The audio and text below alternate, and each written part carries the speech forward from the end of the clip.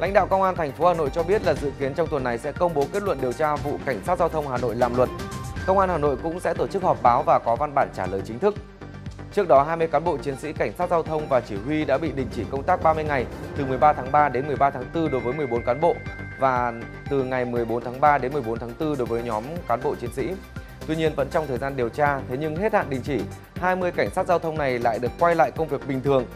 Về vấn đề này, lãnh đạo công an thành phố Hà Nội lý giải là việc đình chỉ công tác nhằm để cho cán bộ chiến sĩ tập trung giải trình kiểm điểm trách nhiệm. Đến nay đã hết thời hạn một tháng. Vì vậy, theo vị này thì 20 cán bộ chiến sĩ thuộc phòng cảnh sát giao thông Hà Nội đã được trở lại làm việc.